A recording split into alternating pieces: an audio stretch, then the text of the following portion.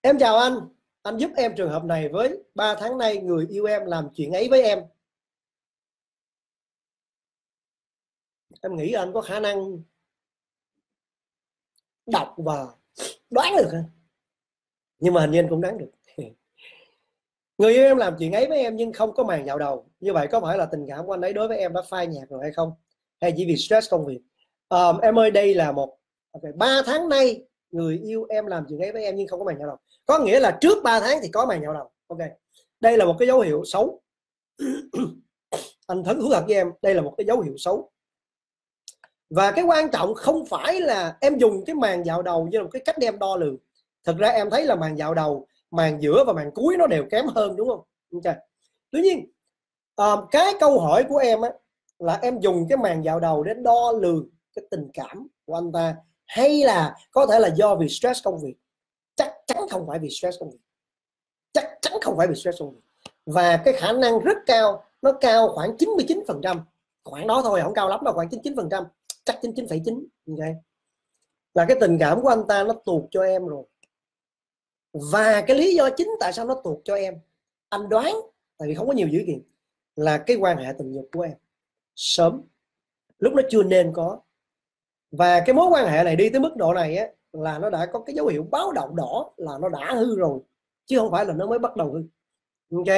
Vì nếu như em có quan hệ tình dục sớm và nhiều, tùy thôi, và nếu như hai đứa làm chung mỗi ngày gặp nhau nữa nữa, rồi hai đứa hay gây lộn nhau, tức là nhiều hành xử nữa, quan hệ tình dục chỉ là một trong những cái tương tác, những cái hành xử thôi nha. Nhưng mà quan hệ tình dục là một trong những hành xử rất quan trọng. Nhưng mà quan hệ tình dục không phải tất cả hai người có thể không quan hệ tình dục với nhau mà cứ gây lộn mãi thì nó cũng sẽ tới cái lúc mà nó vợ hiểu không? Nó làm những cái cảm xúc xấu nó cứ tới tới tới tới. Người đàn ông người ta không cảm giác được là đây là một cái mối quan hệ tốt đẹp chẳng hạn. Thì vì cái mối quan hệ cái, cái tương tác cái cái quan hệ tình dục nó là một trong những cái cử chỉ những cái hành xử trong cái quan hệ tình cảm để dẫn tới cảm giác yêu hay để tuột cảm giác yêu. Thì ở đây em anh thấy là em đã hành xử theo hướng để để tuột cảm giác yêu. Có nghĩa là quan hệ tình dục sớm em nên cho mình cái kiến thức ở trong lớp đường đến trái tim chàng. Cái lớp đó là cái lớp mà tất cả những người phụ nữ trong giai đoạn hẹn hò hay là sắp sửa tới giai đoạn hẹn hò hay gì đó, rất rất nên có kiến thức của cái lớp, ok? Rất nên chứ không phải nên, rất nên nó chỉ cho các bạn biết cần phải làm gì. Các bạn hiểu được cái khối, những cái khối cơ bản nhất là à đi vô cái khuôn này là khuôn sai nè, đây là cái khuôn đúng nè, đừng có vô cái khuôn sai.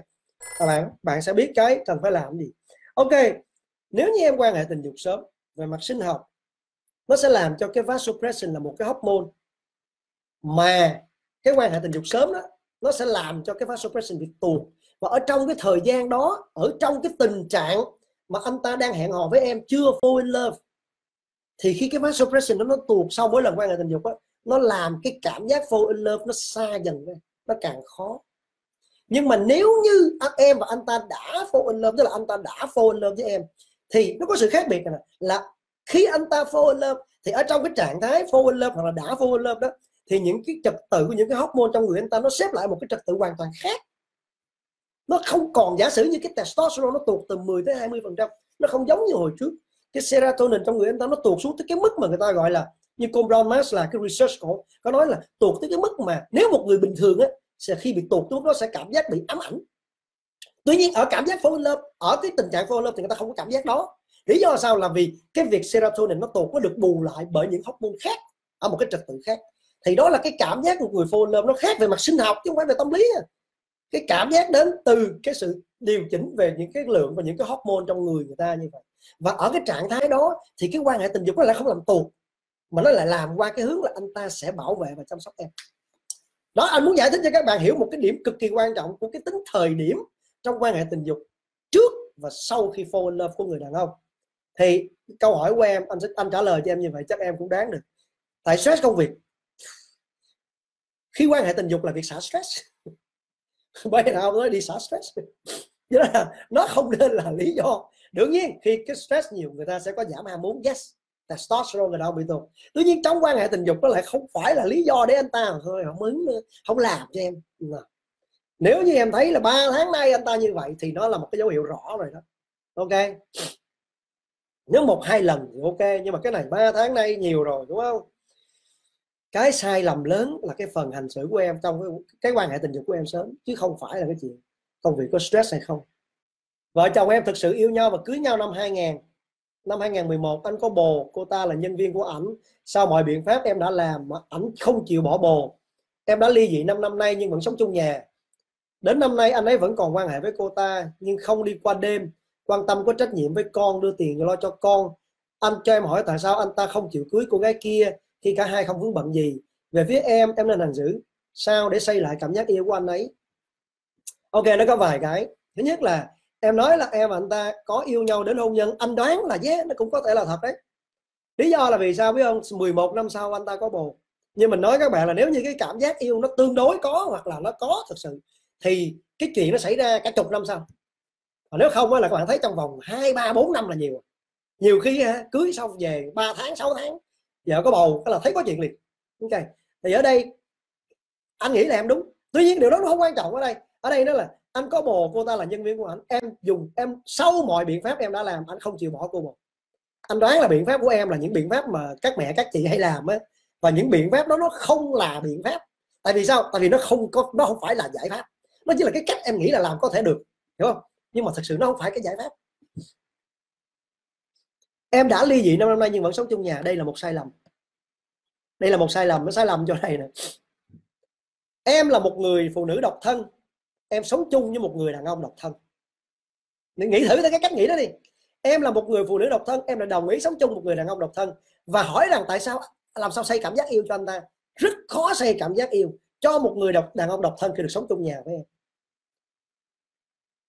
anh không biết là sống chung nhà có sống chung phòng, có sống chung giường hay không? Khả năng là có. Anh nghĩ chắc lâu lâu cũng lạng tới lạng lui. Tại vì cái ly dị của em nó chỉ về hình thức, em không có ly dị, em vẫn sống chung nhà.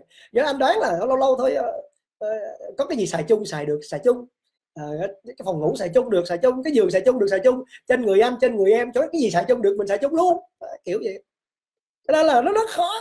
Rồi em nói là đến nay anh vẫn còn quan hệ với cô ta. Đương nhiên rồi ta độc thân, cô ta độc thân thì em độc thân, thì hey, quan hệ được thì quan hệ gì đâu quan hệ tình dục mà sướng mà nhưng không đi qua đêm. Ok.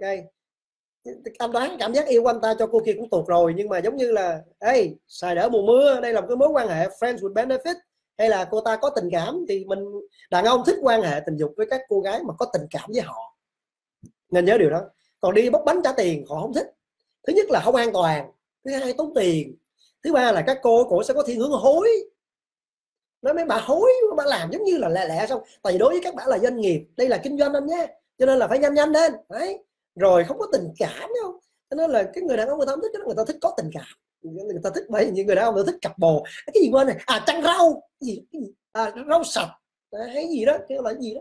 À, các bạn dùng cái từ trăng rau. À, rau sạch đã là, là vậy đó. Chứ đi bóc bánh ra tiền không thích. Rồi không có an toàn cảm giác không an toàn đâu có bệnh trong đây. Ok? Và các cô đó, vì các cô là một cái doanh nghiệp cho nên các cô có nhiều khách.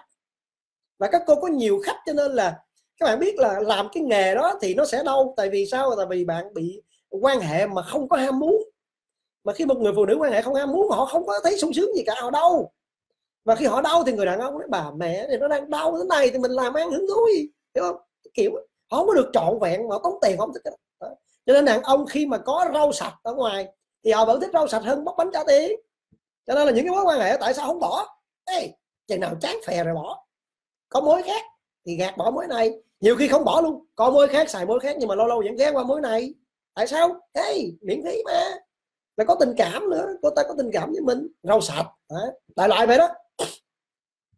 Anh ta vẫn đưa tiền lo cho con. Đây là một cái trách nhiệm mà anh ta lo tròn. Và điều này là cái điều uh, đa số đàn ông người ta làm. Người ta vẫn sẽ làm. Cái đó bình thường. Là một cái con người đó là cái phần con người của anh ta. Ok? Phần anh ta, anh ta có trách nhiệm anh ta thực hiện tròn trách nhiệm của anh ta. Em hỏi là tại sao anh ta không chịu cưới cô kia? Anh ta có yêu cô kia đâu cưới. Đơn giản thôi. 10 năm quan hệ cô kia đâu có nghĩa là là yêu đâu. Em hỏi là tại sao chưa cưới cô kia khi cả hai không vướng bận? Khi cả hai không vướng bận không phải là một lý do để cưới. Một người đàn ông bây giờ gặp một cô gái hẹn hò hỏi sao anh cưới cô kia? Anh đâu có vướng bận cô ta đâu có bận. Chắc tôi không yếu tôi không muốn cưới. Anh ta đâu có yêu cô kia đâu, cưới. Do đó là câu hỏi của em là khi cả hai không vướng bận, mà quan hệ với nhau 10 năm tại sao không cưới? Quan hệ 10 năm là khả năng là không cưới luôn đấy. Có cưới cũng bỏ ngày mai thôi. Càng lâu là càng khó cưới, ok? Mà anh ta không cưới là vì sao? Là vì anh ta không có yếu và theo cái cách em tả thì anh ta không yêu, chẳng có gì lạ, ok? Đi vô hướng đó thì nó sẽ dài dòng. Nhưng mà trả lời cho em tới đó để em hiểu. Về phía em nên hành xử như thế nào để xây lại cảm giác yêu của chồng? Thứ nhất là đừng sống chung. sống 5 năm giống như friend with benefits mà mình xài chung được cái gì xài em. Bây giờ để anh nhìn em coi cái gì anh xài chung với em được. Em cứ nhìn anh đi coi cái gì xài chung được, em cứ xài. Đó, cái kiểu vậy. Làm sao mà ờ, anh ta có cái cảm giác tìm hiểu xây lại với em được? Đầu tiên phải tách ra. Và thứ hai là em phải có cuộc sống của em. Anh ta từ xa, anh ta quan sát lại. Anh ta thấy cái cô gái này, cô là một cái cô gái mà cô ta có cái niềm vui trong cuộc sống của cô ta. Và anh ta thấy cái cô gái nó vui trong cuộc sống của cô ta tung tăng hớn hở hạnh phúc đẹp duyên dáng eo thon ok? Tóc mượt da đẹp ok? À, đừng chơi cầm vi lai cầm vi lai nhìn nhọn quắc khí ghê lắm. À, khuôn mặt đẹp hồi xưa khuôn mặt trái xoan là khuôn mặt đẹp không? Giờ vi lai nhọn quắc dài bữa chữ u dài bữa à dưới khuôn mặt dưới u nó đi độn cầm cho nó vuông nhìn nó đẹp. Không biết model nhổ tới cái gì đây nữa. Tại mốt à, khuôn mặt hình sao? Tức là nhọn đây banh ra giữa xong rồi dưới này chĩa ra khuôn mặt hình sao nó đẹp. Không biết rồi, rồi, rồi mốt là mua đen nó đi tới cái nước nào đây nữa. Ok. Thì anh ta quan sát cái cô đó và thấy cô ta nó vui trong cái cuộc sống của cô ta. Thì lúc đó anh ta mới cảm giác thích là một phần mà muốn có cái cuộc sống của cô gái đó. Cho nên anh ta sẽ tham gia vào cái cuộc sống cô gái đó. Và cái cách anh ta tham gia vào là anh ta lại ve vãn tán tỉnh để chinh phục cô gái đó. Do đó là bây giờ cái việc đầu tiên của em phải tách ra. Thứ hai là em phải biết em phải có cái cuộc sống của em. Em phải vui với cuộc sống của em. Em phải đẹp nhất có thể đẹp. Em phải xinh xắn và có cái tâm hồn đẹp nhất mà em có thể có. Thì lúc đó em tăng sức hút lên. Bút kem chân dung người phụ nữ quyến rũ lại bắt anh phải quay về nói nữa, ok? Khi mà em có cái đó rồi, em sở hữu được cái con người phụ nữ quyến rũ đó, thì người đàn ông người ta có thể mong muốn tới. Mà cái đọc chiêu rồi nè, khi mà em đã đạt được tới cái trạng thái gần với cái cái cái tâm thái sở hữu được cái con người phụ nữ quyến rũ thì em lại không, chưa chắc gì muốn cha này tới. Thằng cha này tới hay không, chuyện của chả, em không có khe không có quan tâm. Thằng cha đó giống như một trong tất cả những người đàn ông khác, nếu anh quan tâm, anh mò lại, lúc đó anh phải xứng đáng. Tức là không phải là tôi làm điều này để vì anh. Khi mà em sở hữu được cái đó thì lại không, có chuyện đó lại không xảy ra.